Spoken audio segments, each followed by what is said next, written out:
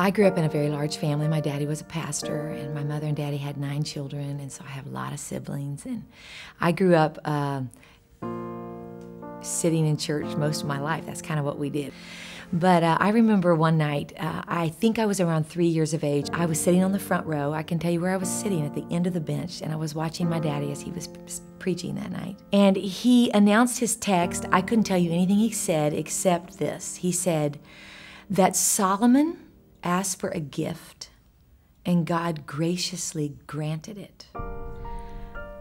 That's the part I got of the sermon.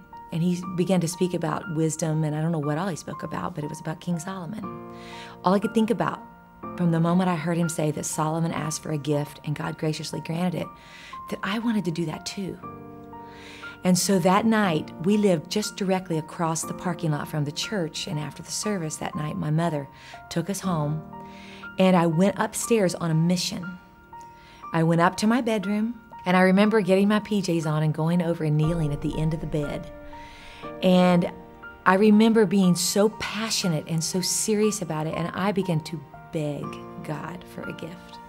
I begged him, Would you please give me a gift like you gave that king my daddy was talking about tonight? Please. And I believed with everything in me that I was going to be something when I woke up. Well, the next morning, obviously, I woke up and I was nothing different. There had nothing had changed. But I don't know the exact time frame, but some weeks later, my mother said that she came in to, from the kitchen and um, she found me on the piano bench playing my sister's recital piece.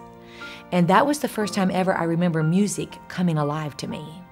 And mother said that when she came in, that I was playing in the key of G flat, which um, is a little bit of a complicated key for you know for most musicians or most of us. And um, she said that I was repeating the recital piece that had been being played before I got there. And I, she said to me, How did you know how to do that? How did you know how to do that? And she said, I looked up and said, Well, she was playing and I wanted to play too.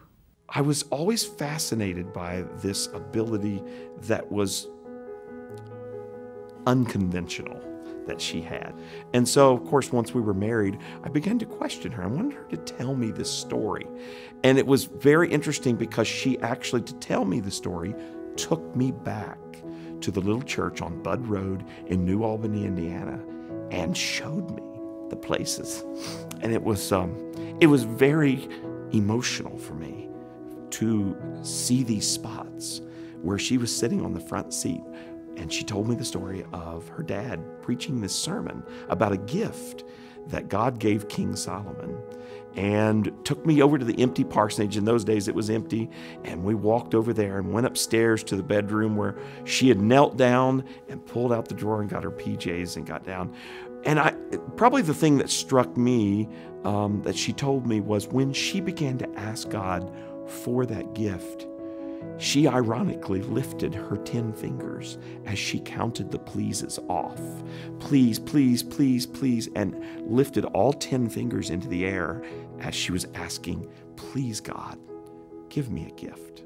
But I remember some years later, I think I was 11 or 12, maybe 12 years of age, and I was riding with my dad down the road, and I was talking to him about that prayer. And I said, Daddy, do you think that, that maybe playing the piano is the gift that I got? And he said, Honey, I think it is. And I remember as it was all I could think about from, from the time I was tiny. Um, everything that I heard musically affected me. And I remember um, my mother said that before I went to first grade, I would play six and eight hours a day. And I would hear chords maybe that a pianist would play, and I would be so fascinated by it that I had to find that chord. And so I would work until I could find what I heard. We would ask her mom about her taking lessons because she never uh, had a formal teacher. Um, take all the mechanics of EGBDF and FACE when she would go to these teachers, she would basically ask them to play the song and she could duplicate it back to them, which was very frustrating to teachers, you know. And uh, so, the, I mean, finally the teacher, one of them called her mom and said, Don't bring this little girl back. I don't know what to do with her. I would have loved to have had the privilege to go back and study music in a more professional manner. Uh, to be honest, I wrestled with that when I became an adult. I really uh, was raised, we didn't have a lot of means, not a lot of money. It was a different day back then, and I didn't have a real good option to go to college. But one day, the Lord and I were having a conversation, and I remember saying to the Lord, uh, you know, why why did I never get the opportunity? Because once you ra- start raising your family and children, you know, school becomes less and less important to you as a mother because you've got this big responsibility of your children. And I remember saying, I, you know, I don't understand why I didn't get the the opportunity to go back and maybe study and get a bachelor's, maybe a master's, maybe a PhD in piano performance. Wouldn't that have been amazing? And no, I didn't hear an audible voice, but in my heart, I felt like the Lord spoke to me and said, Kim, had you gone back and studied and gained all of these accolades through learning, your teachers would have gotten all of the credit. And this is a gift I gave you. And I wanted you to give this gift back to me. And I wanted you to praise me with this gift. And I didn't want anybody else to get the glory for what I gave you. And so I plan to spend and spend out my days, the rest of my days, um, giving it everything I've got and giving every bit of praise back to Jesus Christ because I know that He's the only one that's worthy.